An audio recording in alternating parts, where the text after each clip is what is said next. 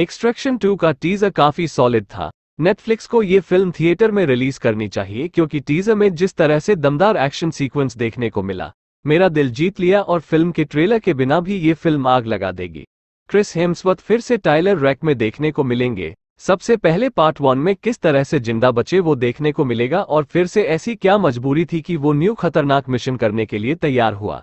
इस बार स्टोरी में फिर से सबसे डेंजर जगह पर जाके एक लड़की को बचाना होगा।